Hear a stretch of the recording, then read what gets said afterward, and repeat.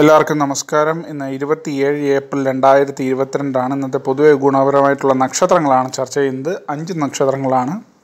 അശ്വതി മകം വിശാഖം തിരുവോണം പോരുരുട്ടാതി. എല്ലാവർക്കും ഒരു നല്ല ദിവസം ഉണ്ടാണെന്ന് ആത്മാർത്ഥമായിട്ട് പ്രാർത്ഥിക്കുന്നു. നന്ദി.